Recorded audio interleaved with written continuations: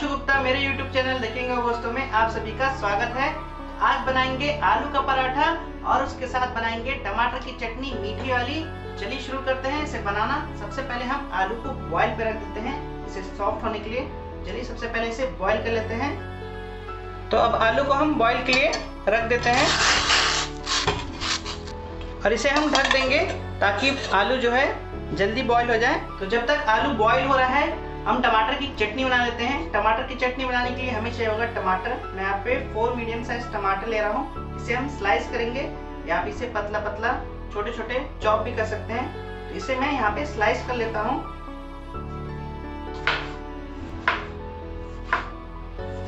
तो लीजिए स्लाइसिंग हो गया है डन इसे अब हम साइड में रख देते हैं। और थोड़े से हम गार्लिक और ग्रीन चिलीज को भी हम चॉप कर लेंगे। एकदम मिन्सिंग करना हमें। तो ले लेते हैं थोड़े से गार्लिक और थोड़ा सा ग्रीन चिलीज जो हमें फाइन चॉप करना एकदम मिन्सिंग करना है इसका। इसे हम चॉप कर लेते हैं। तो लीजिए चॉपिंग भी हमारा डन हो गया है।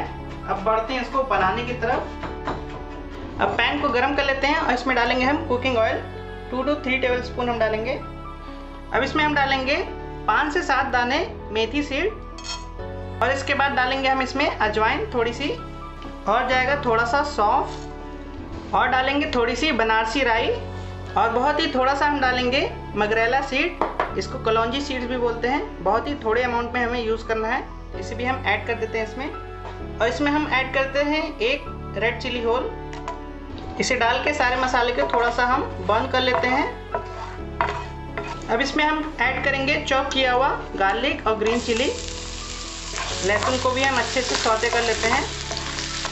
लहसुन अच्छे से सौते हो गए हैं। अब इसमें हम ऐड करेंगे चॉप किया हुआ टमाटर।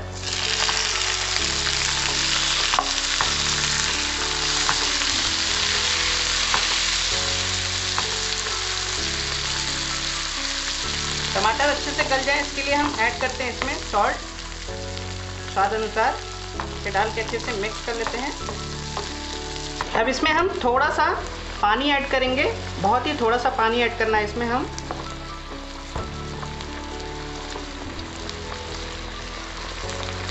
तो पानी ऐड करके इसे हम कवर करके पाँच से दस मिनट तक कुक करेंगे ताकि जो है टमाटर जो है सॉफ्ट हो जाए।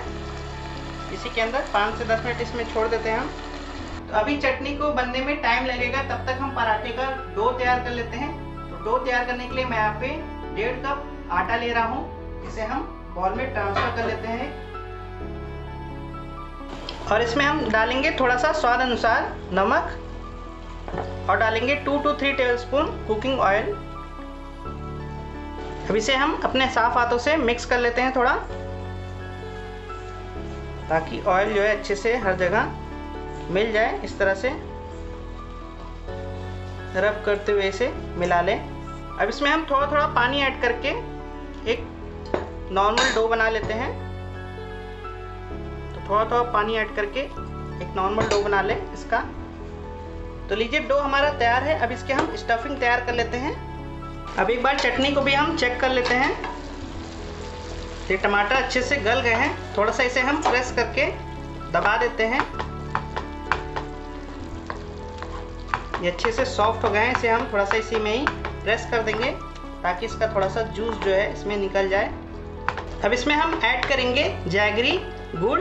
इसे हम थोड़ा सा हाथों से इस तरह से प्रेस करते हुए इसमें ऐड करेंगे फोड़ के इसे। इसमें पूरा ऐड कर दे इस तरह से। और इसमें हम थोड़ा सा पानी भी ऐड करेंगे ताकि गुड़ जो है अच्छे से इसमें मेल्ट हो जाए। एक बार इसे अच्छे से चला देते हैं मिक्स कर देते हैं।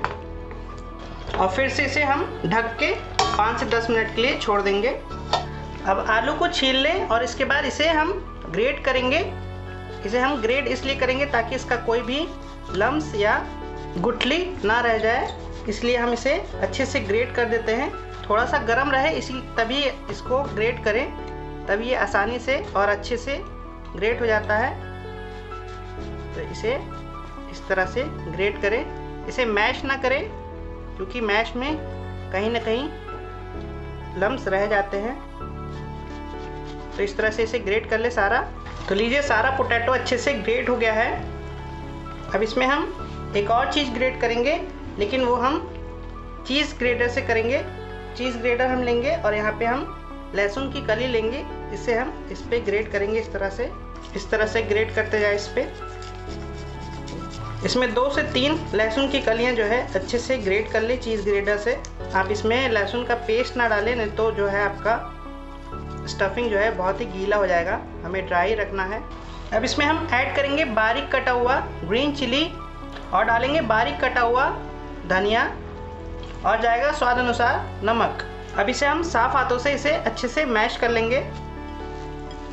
अच्छे से इसे मिक्स कर ले, इसका नमक जो है इसमें सारा जो है बराबर से मिक्स हो जाए हर जगह। अब इसमें हम एक और चीज़ ऐड कर सकते हैं, वो ऑप्शनल है, जो कि है रेड चिली पाउडर आप इसे चाहे तो स्किप भी कर सकते हैं।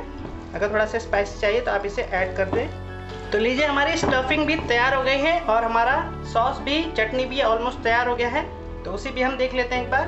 तो ये देखिए हमारा टमाटर की चटनी तैयार हो गया है। इसे आप चाहे तो गाढ़ा कर सकते हैं। ये थोड़ा सा पतला है तो इसे हम हाई फ्लेम पे इसे थोड़ा सा थिक कर लेते हैं। तो लीजिए, तैयार हो गया है टमाटर की चटनी, मीठी वाली। अब हम बनाएँगे आलू का पराठा। अब हम सरफेस पे थोड़ा सा फ्लावर डस्ट कर देते हैं और थोड़ी सी हम नॉर्मल पोर्शन में हम लोई लेंगे और इस पर भी हम डस्ट करेंगे थोड़ा सा और इस तरह से हम इसे पहले फैला लेंगे, क्योंकि बीच में हमें इसकी स्टफिंग भरनी है तो इस तरह से पहले नॉर्मल इसे फैला ले। अब बीच में इसकी हम फिलिंग कर देंगे आलू की। तो एक स्कूप निकालेंगे और इस तरह बीच में इसे भर के इसे हम बाइंड कर देंगे इस तरह से।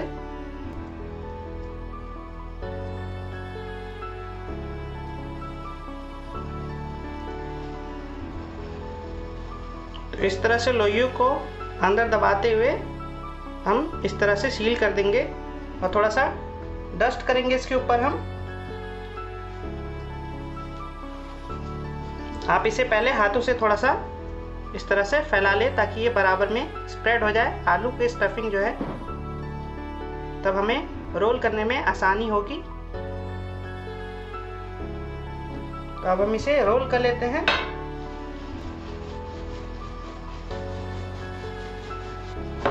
ज़्यादा प्रेशर से हमें इसे रोल नहीं करना है, बस हल्के हाथों से इसे हम रोल करेंगे। तो चलिए अब इसे हम सेक लेते हैं। अब तावा को अच्छे से गर्म कर लें और इसको सेक लेते हैं हम दोनों साइड से पहले। अब इसे हम दूसरे साइड भी फ्लिप कर देते हैं। अब इसके ऊपर हम कुकिंग ऑयल स्प्रेड करेंगे थोड़ा सा और इसे हम फ्लिप कर देंगे। और दूसरे साइड भी हम थोड़ा सा ऑयल स्प्रेड करेंगे। इसे दोनों साइड से थोड़ा सा क्रिस्पी कर लेंगे। अच्छे से सेक लेंगे हम पराठा को। तो इसे दोनों साइड से थोड़ा सा क्रिस्प कर लें। और तैयार है हमारा आलू का पराठा। तो चलिए इसे साइड कर देते हैं और बाकी के पराठों को भी इसी तरह बना लेते हैं हम। तो इसी तरह हम दूसरा भी सेक लेते हैं।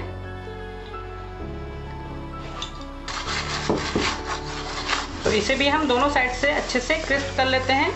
पराठा को अच्छे से सेक लेते हैं। तो लीजिए, तैयार है हमारा गर्मा गर्म आलू का पराठा। तो चलिए इसे खाते हैं और इंजॉय करते हैं।